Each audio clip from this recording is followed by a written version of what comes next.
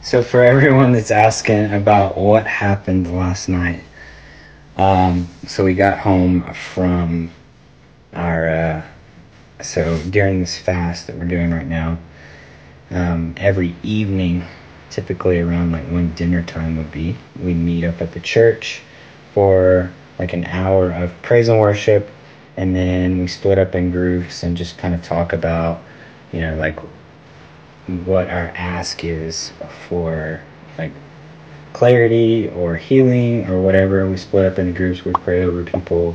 We get prayed over. Um, then we get home last night and there was literally water pouring from the ceiling.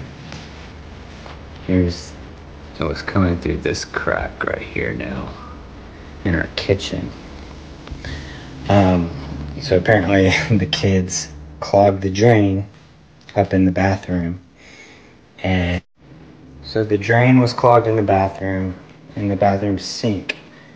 And the sink was completely overflowed all out into the, into the bathroom.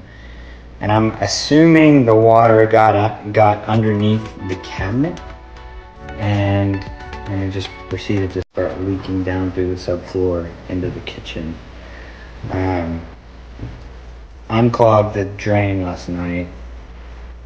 Dried up all the water and that seemed to stop everything so it's not coming from anywhere else. We're worried that it was like you know the air conditioner or the dehumidifier upstairs like overflowing or something like that but that wasn't it so thank goodness. Uh, but it wasn't fun.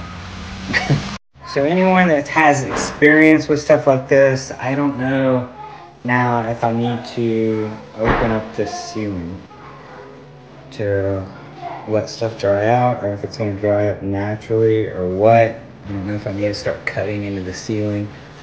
Um, it's not leaking anymore. So, what do we need to do? Danielle started to file a claim with insurance, and I told her last night, I'm like, babe, it's not going to be worth it. Insurance companies do not want to pay out for stuff like this and remediation and stuff. The deductible is going to be outrageous, and she figured that out today. So, um, hmm obviously it's all gonna come out of pocket if we start paying into this. So, if you have any suggestions, let me.